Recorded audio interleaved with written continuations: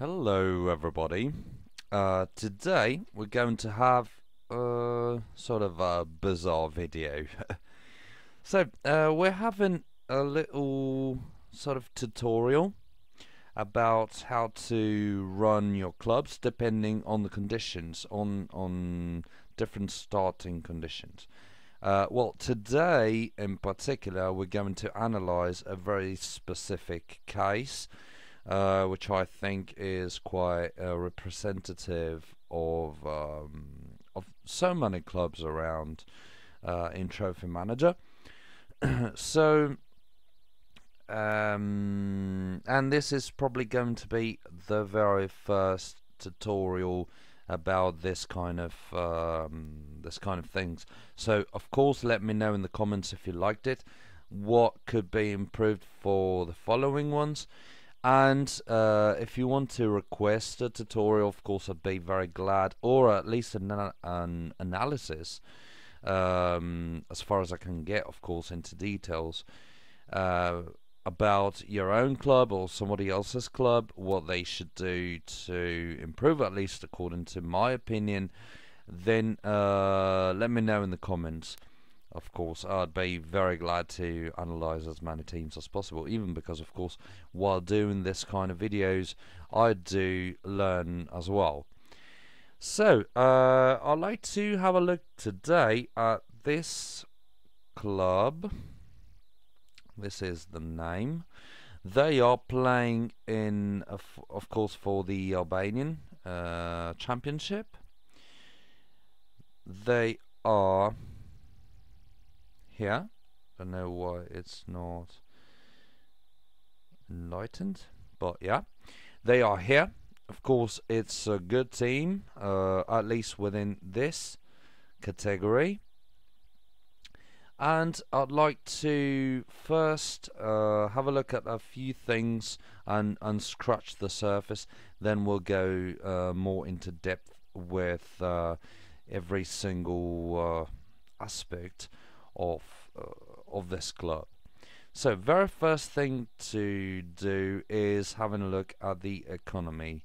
Of course we cannot we cannot sorry we cannot uh, see the um, uh, the financial uh, details but we can what we can see here is that economy is supposed to be really good really good at honestly I cannot remember, but it's probably around two or three hundred millions plus, uh, which means they can of course afford to uh, to sign new players and good players actually, but. Uh, it's not a massive amount of money, and I am pretty sure they are not getting what we are getting here, for instance. Let's have a look. When you run your finances, in my opinion, you have to make sure you get these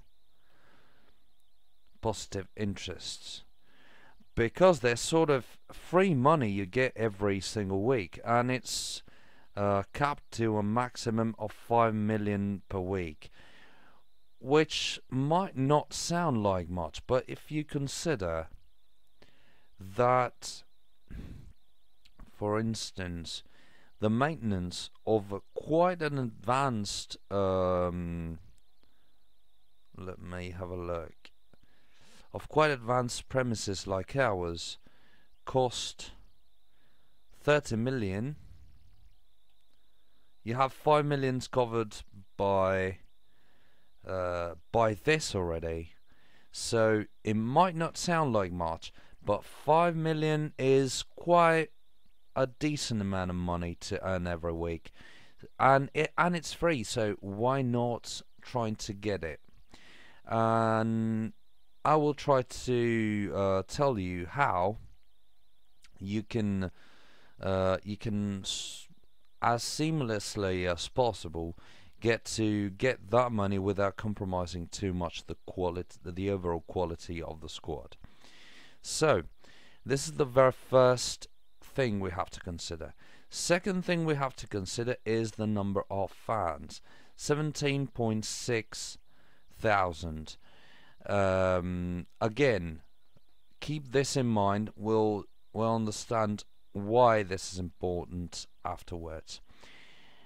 Then let's have a look. I wanted to have a look at this, the stats. Then we have a good squad. Of course, as you can see here, the level was way higher than our squad. And they are very experienced. They are very old though. On average, 33.2 years of age. Which means some players are going to retire. And a retired player, in my opinion, is somewhat a waste of money because um, after a few season, a few seasons, you pay those players, you train those players, and training facilities, of course, do cost some some money, and then you let them go without even trying to recover some money. So, in my opinion, this is not good, especially if you have good players like these who can be sold, uh, I don't know, one season earlier and can bring you some money. And of course, cost less in terms of wages. Because if you sell this guy here before he gets, um, before he retires, you're probably not going to get a lot of money, but you are still going to get something back uh, by transfer listing him, and you're going to get rid of one wage of one quite high wage in my opinion for one whole season which means several millions. Let's have a look at this player here for instance. His wage is probably higher than my highest wage. Of course he's very good but he's as good as my as our best player of of Sisser United he costs just as much in terms of weekly wage, and um, of course he performs better because he's got more experience. But why not selling him? I mean, you can get some money back. On the other hand, this guy here is trying to avoid this kind of things, and you can see it here. He's trying to transfer it to transfer list this Carlson guy. And of course, it's a very good mean to um, to get some money back, and uh, it's a very good idea in my opinion. Uh, plus, we can see a few younger players. This one guy over here, very good. And these young players, we don't know how good they are, but of course, we'll have a look at the facilities afterwards and we'll see if this uh, club can actually bring them to this level or at least three and a half four stars just to make them worth the effort to to hire them and keep them for uh, for a while. So let's close this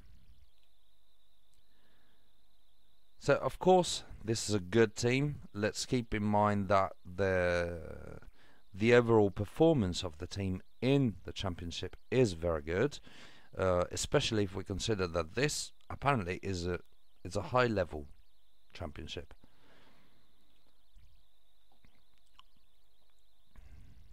So I wanted to have a look at the club stats because here we're going to see the average attendance of the stadium. This team is here. So the average attendance is nearly 40,000 um, uh, sorry attendance how do you call them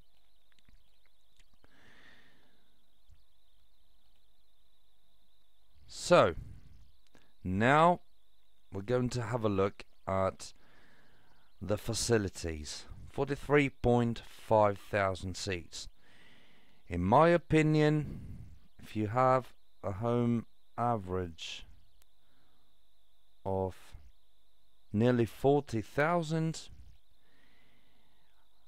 this is either very good if you usually are between uh, 35,000 and 43,000 um, uh, oh sorry uh, spectators every time. Every, for every match. So in my opinion this could be a very very good balance. So 43.5 means that you're not letting people out of the stadium. You're earning every single penny off them uh, so I think this is uh, very good I should be able to um, to see every single attendance uh, details uh, detail in order to state that 100% sure. But I'm afraid I cannot. We cannot stay here half an hour for me to watch everything. But uh, this is still, in my opinion, this should be a very, very good balance. So he's not wasting any money here. Um, let's have a look at the fast food restaurant. So level 6. With that much attendance, you have to take this all the way up to the max level you have to max it out straight away um, in this case in our case for instance this costs 450,000 per week. 40 uh, credits per spectator which means uh, if you have 40,000 spectators it is around uh, 1.6 am I wrong? Sorry. Um, thousand uh, so 40,000 400,000 well, yes 1.6 million income so why not taking it uh, why not maxing it out you'd be earning 1.2 million per week with that much attendance. It's um, it's very important. This one. Um, this sausage stand, same thing. Merchandise stand, exactly the same thing. Merchandise store, it only works well when you have a very high amount of fans, of official fans. And as, as we saw earlier, we've got 17,000, 17.5 0.6 thousand here. So it's definitely worth it to have it at 10 very good job. Um, let's have a look at the training grounds. No sorry let's have a look at, at the uh, financial structures first. So restaurant level 6 same thing here. We have to max it out. Uh, too many spectators to waste their money. Uh, we want to exploit as as much as possible all of that audience because this will allow to afford uh, to sign very very uh, important players very strong players very experienced players seamlessly without suffering any loss in terms of economy. So this is very important. And this will allow you to build up more uh, training facilities and youth development uh, facilities. Because of course you will need stronger and stronger players every year to uh, to achieve of course as many goals as possible so here you have the training grounds which I was talking about earlier and uh, these are at level 9 then uh, I will try to of course I already told why I already said uh, why these are important, so I'm not going to repeat it. Same thing here. Uh, with all of that audience, all of the money you can get off these places here, uh, everywhere, you should be able to build, uh, to bring these structures to 10, both of them. No, no problem at all, in my opinion. And so, uh, let's talk team now, the squad. So here we have, where's the squad? Here. So here we have quite an old team. Alright. What I would do in this case are two things mainly. Number one, uh, sell the older players, trying to keep just 11, 12 good players. As you can see here, we have three, let's not consider this one, four, five, six, seven, eight, nine, ten, eleven, twelve. There are 13, 14, 15 15 players who can actually play in this category and very well. So you're not going to suffer if you guys uh, who have this sort of uh, team who are running this sort of club.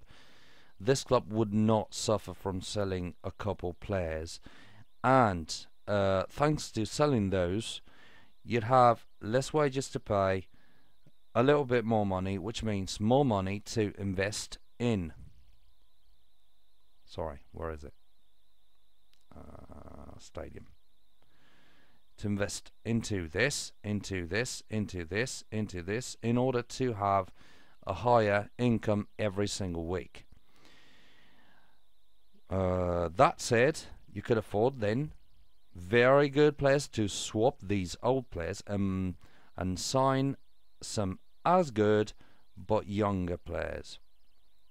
Plus, second point, when you choose players to uh, to play for your team and with the same amount of uh, stars.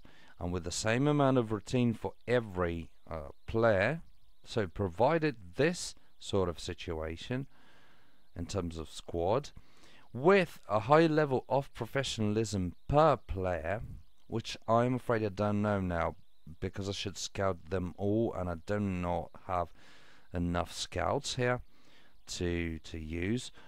But I would recommend uh, personally to make sure the professionalism with these players is as high as possible because it's going to make a massive uh, difference. I'll set an example, a very tiny one. I'm not saying this is uh, true 100% of the time, but I would say at least 90% of the time. I've got a very low level player in, in the B team. So in the reserve squad, we've got this one player over here. Alright. While this loads, let's have, let's load the players list as well, so that we can have a look. So, um, why don't you load? Alright. So, um, here we have a very little experienced player uh, a very slow player. As you can see, four pace points, 10 finishing points that are not very good, but still, this player, thanks to his 5 points of professionalism, could reserves. I'm sorry guys for for the for the fact that this computer is very slow but it's um, it's handling it's very old and it's handling a few things at the same time. So let's have a look. Not really. It's this one. Yes. So this one player over here very low experience uh, not special qualities in uh, the reserve squad. So you cannot even say the other players are helping them out a lot in order to perform well. This season he's played three matches. He's scored three goals and has made through uh, two assists. It does not happen all the time, I must admit, but it does mean that professionalism definitely does affect the performances. So, especially if you're playing at a very high level, make sure when you hire players they have a high level of professionalism. Because I am pretty sure such a team like the one we saw here, which is very good in terms of skills, very, very good, I am pretty sure they could be achieving a little bit more in the championship, which is still a high level championship, so it's not going to be easy. Some tactics had to be applied, but um, I am pretty sure they they would be higher in the list, a little bit. So uh, this is uh, what I would do basically. Now, if I were in the shoes of this manager, what I would do is selling the older and probably less useful uh, players at the same time. As you can see here, we've got a midfielder, an offensive midfielder right, and a midfielder right, midfielder who can play right as well, an offensive midfielder left and right. So, mm, uh, offensive midfielder right. So all of these uh, wingers, five wingers for two roles. I would stick to uh, four. That would be good.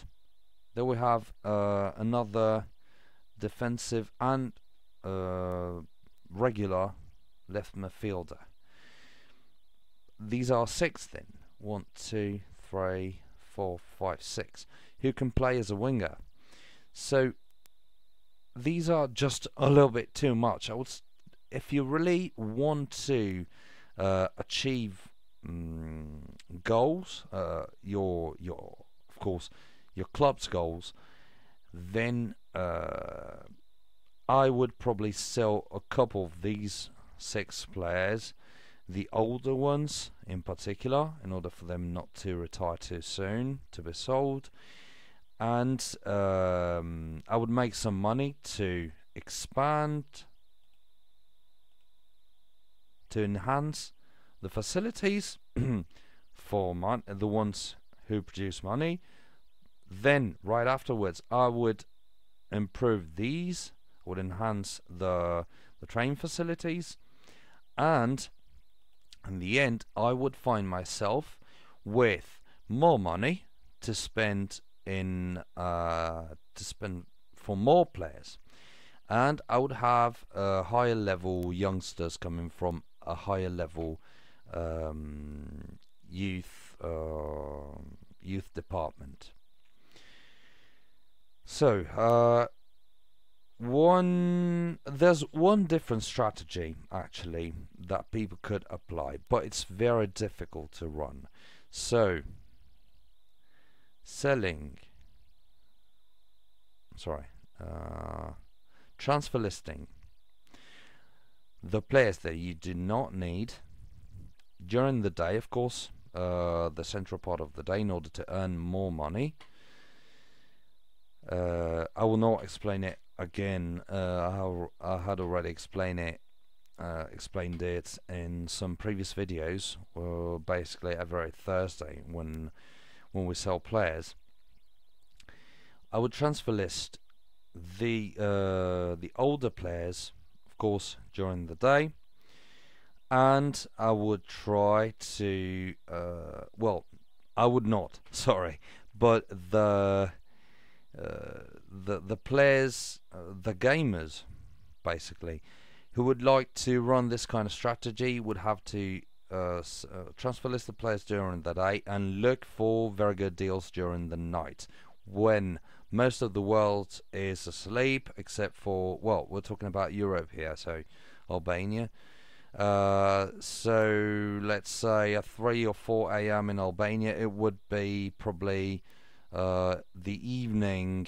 uh, in East Asia and Australia, sort of, and it would be um, very early. No, sorry. Uh, uh, uh. I'm getting something wrong. So, 4 a.m. Uh, it would be no, it would be late. It would be very. Oh, I'm sorry. Uh, it would be late at night in uh, the US and and uh, yeah, the central part of the US basically, and Southern America. If I'm doing this wrong, please tell me in the comments if I'm terribly wrong. If it's the other way around, and it should be sort of uh, mid, uh, sort of noon in Australia and Eastern uh, Asia, which means people would probably be working. And it would be late at night uh, or nearly late at night in the US and uh, South America, which means people were would probably be about to go to sleep.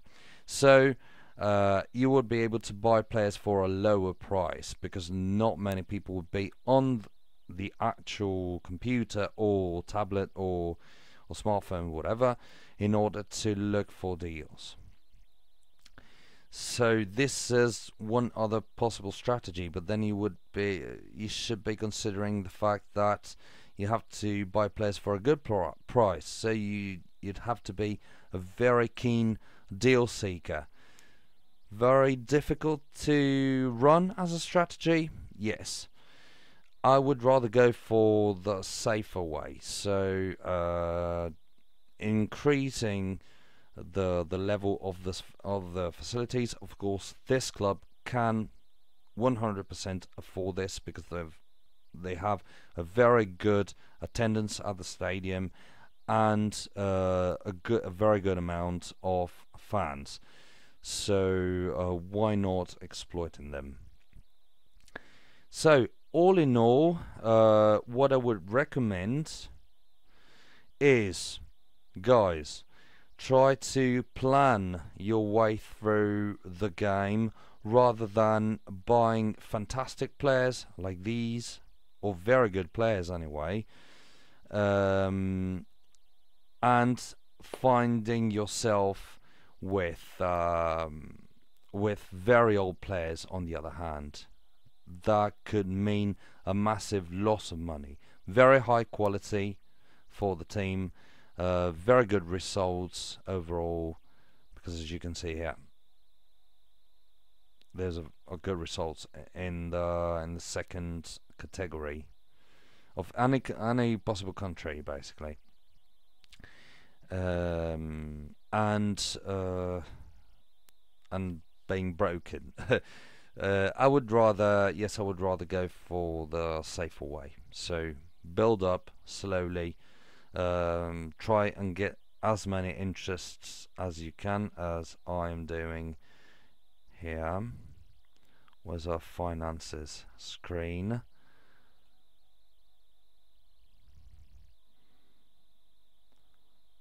Let's wait for it to load. Yes, so 5 million free every week and in the case of, this club here so many more millions thanks to the facilities.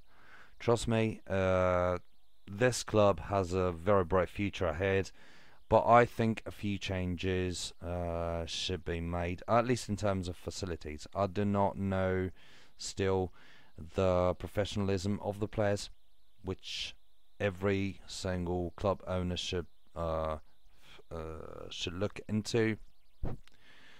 Uh, and I don't know exactly how the finances are going, but I suppose uh, they are not being explode, exploited as much as they could be.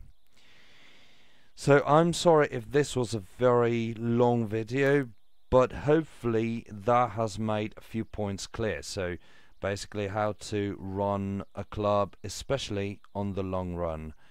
Um, hopefully that was useful for many of you guys. Uh, leave me a comment if you did or if you uh, did not like this sort of tutorial and um, please give feedback because I'd really like to have many more tutorials like this and uh, I really need your uh, your opinion about it in order to uh, make more useful contents for every uh, player of this game. So or even uh, just curious people. So thanks a lot again uh, and please support the channel guys. I'll be bringing so many more contents one day but of course I will need your support. Thanks a lot again and see you in the next video.